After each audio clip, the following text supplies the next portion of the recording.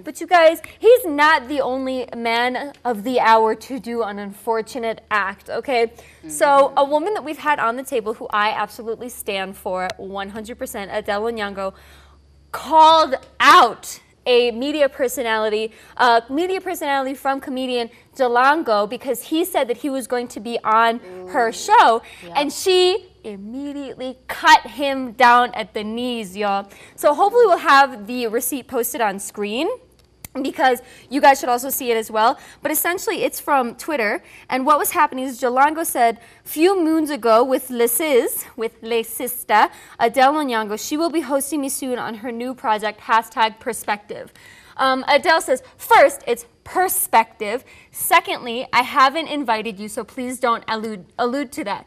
I still believe you have a very toxic view on femicide that I absolutely will not amplify on my platform. So first of all, hallelujah. Yes, first of all, I absolutely love that she was mm -hmm. not polite to him. She was not being like, you're my friend, but kind of thing. Mm -hmm. She was like, First of all, we're clearly not close because you got the name wrong. Mm. Number two, you're clearly not coming on the show because he is vocal about his views. He's not, he doesn't hide what he says. He's incredibly loud about these things. What I love is I'm expecting girls to like use this as a line, just being like, listen, you need to back off or I'm gonna curve you so hard, they'll be calling me Adelle Onyango. Yeah, like. I'm waiting for girls to be like, absolutely not, because she stands for that. And it's nice to see that even someone who's also in the media, she still has integrity in her word. And she's like, I'm not going to give you a platform, no matter how nice we are, you know, in person. Yeah. I'm not going to amplify what you're saying. And we never see that. And that never. is why I absolutely love this. And I don't love this because Jalango is being attacked. I don't know Jalango. I don't have an issue with Jalango. Mm -hmm. But I believe that if somebody stands directly against what you believe in, mm -hmm. you don't need to do the pleasantries. You don't need to pretend that it's all good. But I don't have, I don't necessarily have a problem with someone coming on the platform to hear out their views. Mm -hmm. As long as you're not being um, like intentionally offensive. For example, his views and my views can coexist. I want to hear what, why you think what you think. But um, from what I gather, Jalango is just kind of out there being belligerent and rude yeah. about it. So then for somebody who stands for um, um, feminism as much as Adelle Onyango does, that isn't going to run. And I like that she stood for um, herself. Yeah. 100%. No, no, definitely. I definitely agree. And for someone who has actually had an interview, an interview with Jalango mm -hmm. on radio, it's just like I, I agree with Adelle 100%. Yeah. Like when men come at you that type of way, like especially like putting women down, mm-hmm. doing any of that, it's mm-hmm. disrespectful. Mm-hmm. Yeah. Number one. And don't try to hit me up later. Like, no, don't. No. So and I, there's so many there's so many mm-hmm. people who there's a lot of men who put out there consciously and mm-hmm. without any kind of shame that mm-hmm. women are this, women like negative things yes. and they feel no way and they think that that's okay. And when you stand up, you are a right-wing feminist who hates men. Yeah. I don't hate men. I just don't want to hear you insulting women yeah. openly. And it's not okay. Absolutely, and that's why I like because you're right. There is a time and a place for two opinions to like coexist and yeah. interact and converse. Mm -hmm. But for what she stands for and what she's trying to achieve with perspective, mm -hmm. that's not the place. And, and also, he's rude about it. He doesn't yeah. have like a, a, a, like a justified view for why he has poor views on women. Mm -hmm. Yeah, he's just rude. The other thing, and you're right. And you know, the thing is, is unfortunately, a lot of men, like not just in Kenya but sort of worldwide, see that like that's the easiest way to build a brand.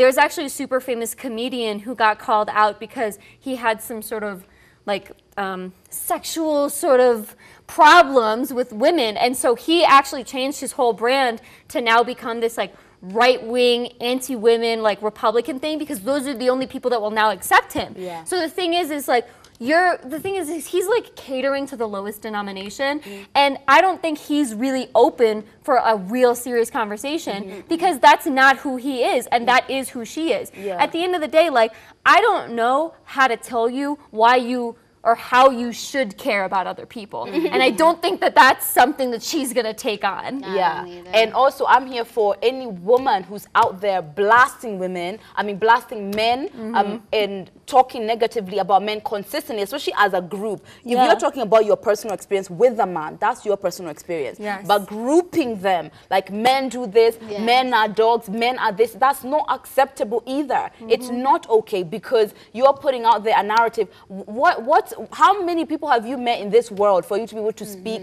on all men? Mm-hmm. Right. No, you, nobody can. And I like that she stood up to it and I hope more people can do this. Now, I know there's some fans there who maybe think she took it too far or maybe like it's not that serious. So hashtag Ebru Let's Talk and the SMS line is 40920. What do you think? Was this like the right kind of comeback um, to kind of clap back on? Was she it was like, you know, chill out? I Let think she know. answered it I super mean, of course, good. of course, Dana would think she was classy. But speaking of clap backs, you know, like your average Joe Schmo. I mean, like the average person, like rewears their clothes Yeah. daily. I mean, put your hands up if you do. Mm-hmm. I do. I have like ten pairs of black leggings that you know. Some have holes in that them. circulate. Some have holes Stop. in them. I had to. I had to let them go. So you know, I rewear. I rewear whatever. But you know, there's those celebrities. Mm-hmm. Celebrities who wear one clothing and then they put it aside. I mean, if I had that much money, boss, bring it. Yep. But apparently, Vera, um, Vera, boss queen, mm-hmm. Vera, who has said, who has said multiple times she does not re- rewear clothes. Mm-hmm. She was caught wearing a Versace shirt, mm-hmm. and we actually have something on the screen. What does it mm-hmm. say? So a fan said, um, no, she she put She it out saying, you know, it was a post she put it out, and mm-hmm. then the fan said, I thought haurudi yangi nguo, I thought you don't wear clothes again. Mm-hmm. To which she said, I paid 120,000 Kenya shillings for this Versace shirt. I'll wear it until Jesus returns. Okay, now.